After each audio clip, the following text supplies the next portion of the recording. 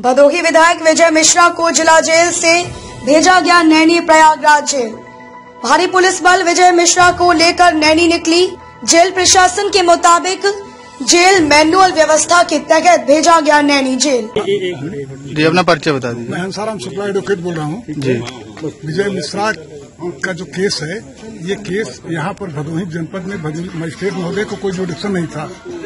इनको जो है, इनकी केस जो है एमपी एमएलए स्पेशल कोर्ट जो इलाहाबाद में है, वहाँ पर इनका रिमांड होना चाहिए था। फ़र्स्ट रिमांड मध्य प्रदेश में हुई है। इनको गलत ढंग से यहाँ पेश किया गया है, गलत ढंग से इनकी रिमांड ली गई है। हम लोगों ने ऑब्जेक्शन किया मजिस्ट्रेट महोदय के यहाँ। इसके पहले मैंने रामबली की जो इसी केस में को एक्यूज है कि इंटिसिपेटिव बेल दिया था, जो सेशन कोर्ट ने ये डिसाइड करके जिसकी जुडिक्शन नहीं है यहाँ पर, रिमांड के, ट्रायल के इंक्वायरी के इंटायर जो है प्रोसीडिंग ये स्पेशल कोर्ट इलाहाबाद में चलेगी। तो हमने यही ऑब्जेक्शन यहाँ पर प्रिलिमिनरी दिया है मजिस्ट्रेट महोदय के यहाँ।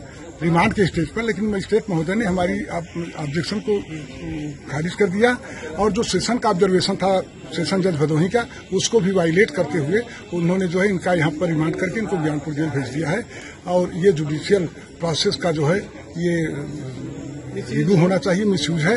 इस पर हम जो है फिर आगे जो है अगली डेट क्या लगी है इसमें? है उसको करेंगे। अगली डेट वगैरह भी लगी होगी इसमें अट्ठाईस चौदह दिन की रिमांड होती है। तो अभी इनको आज जो है रिमांड पेश हुआ है। इनकी रिमांड जो है चौदह दिन के लिए किए हैं। वो चौदह दिन के बाद कितने कितने दिन के लिए की गई है? चौदह दिन की रिमांड हुई है।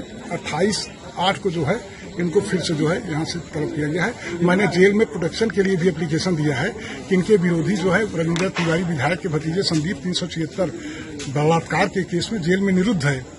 और इनको जान का खतरा है उस जेल में लिहाजा इनको इस जेल में न रखा जाए समुचित प्रोटेक्शन दिया जाए। ये एप्लीकेशन मैंने डाल दिया है। चूँकि ये बीमार है इनका हाई ब्लड प्रेशर शुगर वगैरह भी है इन पूरी एप्लीकेशन भी हमने दिया कि मेडिकल जो है ट्रीटमेंट वगैरह जो है एड वगैरह इनको दिया जाए। किस जेल की मांग की है कुछ इस तरीके की? जेल हमने तो कहा कि ज्ञानपुर न रखा जाए छोटी जेल है। चूँकि इनको जो है स्पेशल जेल में रखा जाए चूँकि एमएलए एमपी है प्रोवाइड होता है इनके लिए। चूँकि ज्ञानपुर में सब जेल है इसमें यहाँ प्रोवाइड नहीं या तो नहीं करें या तो बनारस करें सेंट्रल जेल वगैरह होते हैं या तो ये चीज़ें जो है तो उस पर हमने अप्लीकेशन भी दिया है कि इनको जो है अगर जेल में रख है हैं तो पूरा इनको खान पान के लिए इनके पानी वगैरह के लिए सब पूरी व्यवस्था की जाए अब न्यूज़ इंडिया को सब्सक्राइब करें एंड बेल आइकन को प्रेस करें लेटेस्ट न्यूज़ अपडेट के लिए।